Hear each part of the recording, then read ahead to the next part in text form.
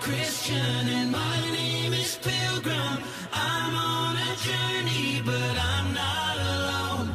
Jesus is with me and he goes before me. Yeah, his love surrounds me. He's leading me home.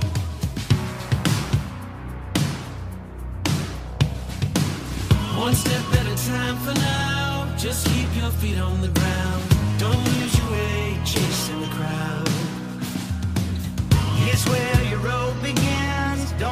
don't settle in. Just tell yourself there's something more than this. Just